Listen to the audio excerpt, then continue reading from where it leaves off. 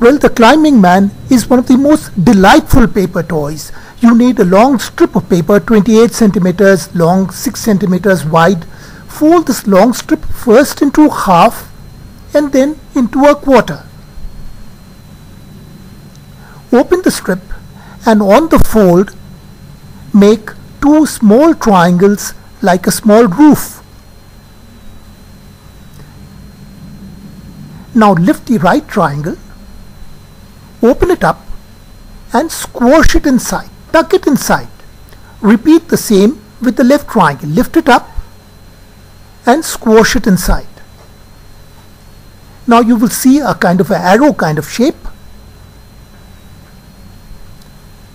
Now you fold this so that you can see two strips, independent strips below and a triangle on the top.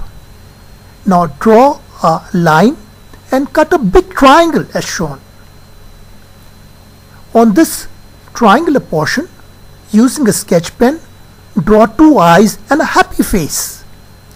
Now you take this triangular face and you tuck it between the two long strips, which are like the channels, and now you gently move these strips alternately and you'd be surprised that the face climbs and gets ejected. See this again.